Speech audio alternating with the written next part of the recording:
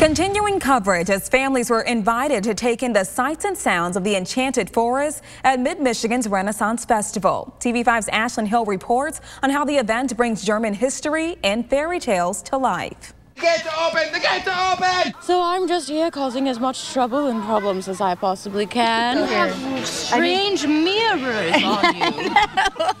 I'm in need of new pirates, you see. A cast of characters and entertainers can be found at the Mid-Michigan Renaissance Festival's Enchanted Forest. Tucked away between Frankenmuth and Vassar, people from all over are invited to walk through the gates into a magical realm. We are um, an enchanted realm that mixes historical characters and fairy tale creatures to tell the stories lifted right out of Grimm's fairy tale storybook. I am Gunther. I am here to write the mayor. Shannon Layton is the general manager of the Enchanted Forest. She tells me this is a separate festival from the Michigan Renaissance Festival, and for the past 11 years, volunteers have been giving it all they've got to bring time period knowledge and entertainment to mid Michigan. This is a, a 100% volunteer effort. The folks that come here come here as a labor of love, and um, it's that community that really keeps things going and growing.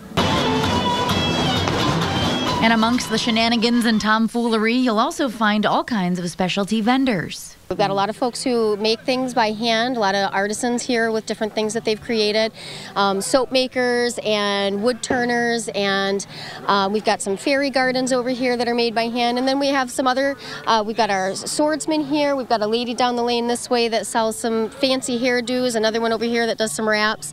But overall, Layton says it's all about the sense of community. This is our When Worlds Collide weekend, so we mix our Renaissance Festival with a little bit of steampunk, with a little bit of uh, cosplay, and we really just see all kinds of folks come through. In Saginaw County, Ashlyn Hill, WNEM TV5.